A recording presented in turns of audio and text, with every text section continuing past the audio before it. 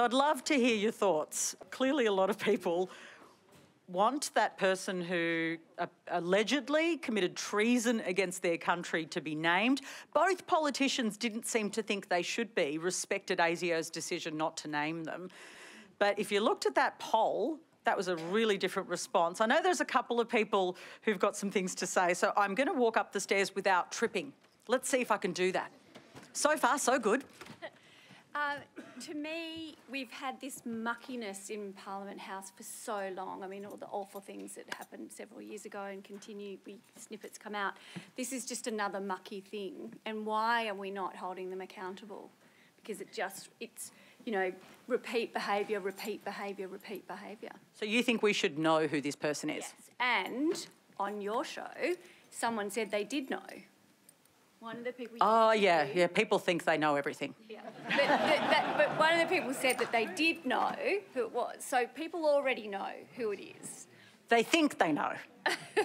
well, they think they know and they know. Yeah. But, still, but, but you think ASIO should reveal the information? No, I think it should come from a, the politicians be under parliamentary privilege. Wow, okay. And what do you think? I disagree with the woman in front of me. Oh, I love um, disagreement.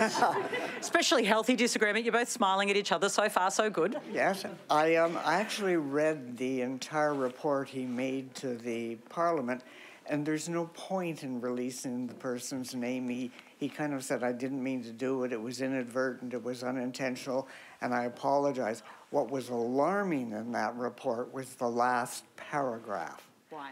Uh, because he said, the biggest threat is the young people on the internet not understanding what they're doing. And that to me is what should be debated by the public, not the specific man's name, man or woman's name. That's yeah. just my thought. That's an interesting point. Here we go.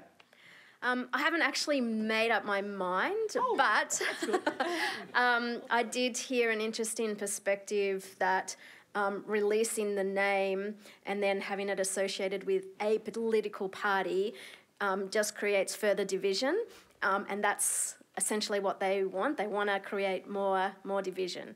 Um, but yeah, I'm still undecided. Mm.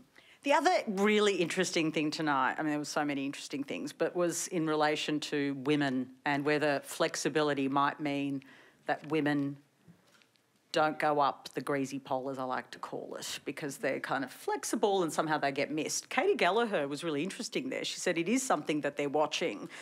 Who thinks about that, um, you know, the advancement of women and the way that the changing workplace might be affecting it? Put your hand up. Su unsurprisingly, women have put their hands up. um, I've worked in the public sector for 15 years. Um, the last, so the last six years, I've been um, working from home. So since COVID, but since having two young children, and I think if I wasn't afforded the, the flexible working um, arrangements, I wouldn't have been able to work. I have actually managed to progress my career you know, and and continue to do things that I didn't think were possible with two small children. So I think more people need to embrace working from home. And that your career should progress. Absolutely, yeah, absolutely.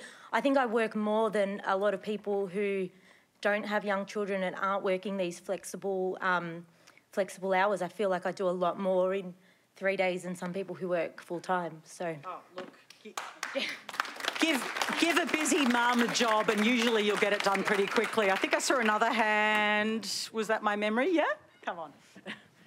Just pass it over and then you'll all be released. I think everyone should embrace working from home and flexible working. And if more men and women without children and all of those traditional people who don't work from home did it, then there would be more opportunities for everyone to progress. That's a really good point. Okay, next Q&A is at my house, okay, guys? yeah? That would be weird. Thank you for coming tonight. It's been great.